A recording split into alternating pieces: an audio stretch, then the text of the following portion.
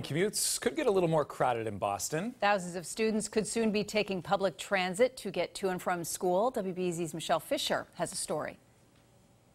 Ahead of the new school year, BPS making some changes to how students get to and from class. The school system will now make all non-elementary school students eligible to receive free T-passes. The morning commute in a few weeks will be a bit busier as students join the masses heading into the city.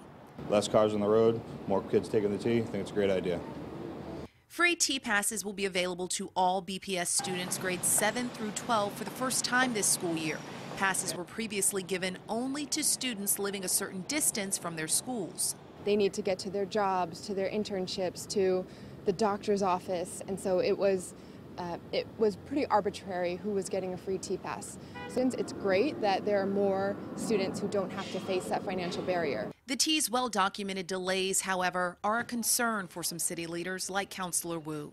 We know that kids who take the T to get to school are routinely missing sometimes all of their first period of class. Completely overhaul the system. It's where we have to go, regardless of whether it's kids or, or commuters.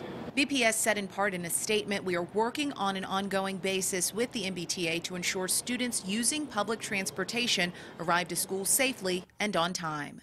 There are still a couple of weeks until we would see the impact of this change. School starts for Boston Public Schools on Thursday, September the 5th. Reporting from JFK UMass, I'm Michelle Fisher, WBZ News.